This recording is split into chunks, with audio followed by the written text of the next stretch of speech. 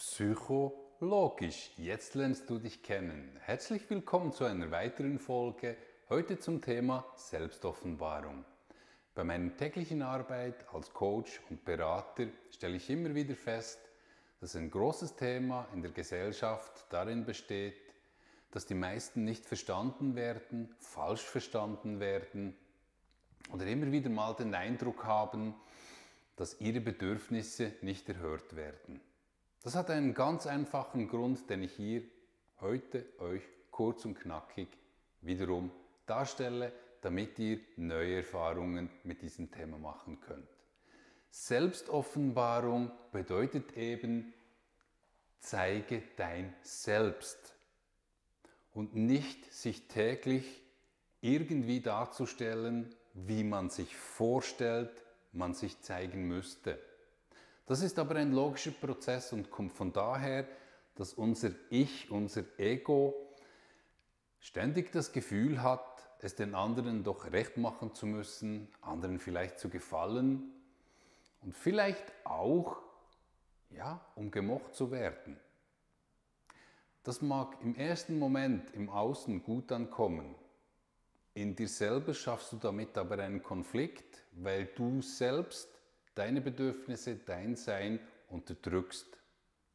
So kannst du ja auch gar nicht wahrgenommen werden, wenn du täglich etwas anderes darstellst, wie du es in der Vorstellung kreierst, statt einfach mal dich selbst zu offenbaren, was du fühlst, was deine Bedürfnisse sind, was du wirklich willst.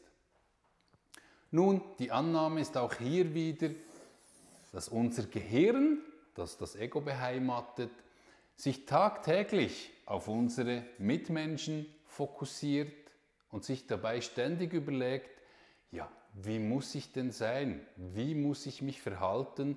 Wie muss ich den anderen gegenüber etwas zeigen, damit vielleicht etwas zurückkommt? Sprich, wir legen ein Verhalten an den Tag, einen Ausdruck an den Tag,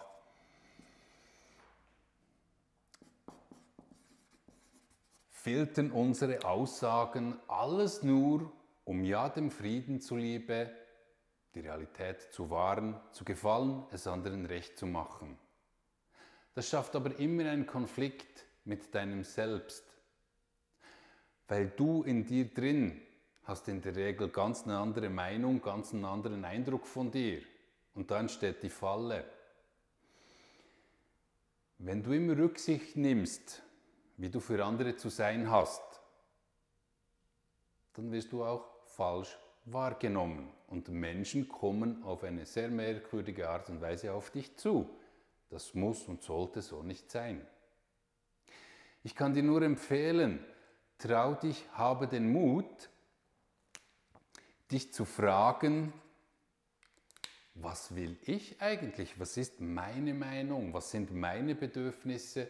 Wie will ich wahrgenommen werden? Und zwar nicht dem Frieden zuliebe oder den anderen zu gefallen, sondern damit du dir selbst gefällst. Bedeutet also, was fühle ich? Und dich selbst mal zu offenbaren. Dieses Gefühl löst bei dir auch ein Denken aus. Trau dich, deinen Mitmenschen dein Denken, dein Fühlen zu offenbaren. Weil wer dich wirklich als Mensch, als Wesen schätzt, der wird treu bei dir bleiben.